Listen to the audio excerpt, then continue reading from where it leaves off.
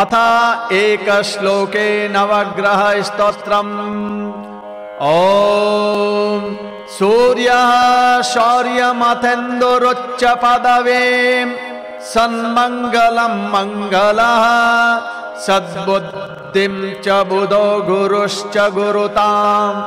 शुक्रः सुखं शंशने राहुर्बाहुबलं करोतु विपुलम्।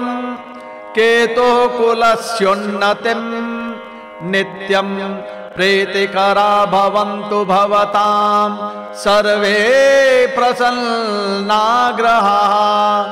ॐ आदित्यादे नवग्रह देवताभ्यो नमो नमः।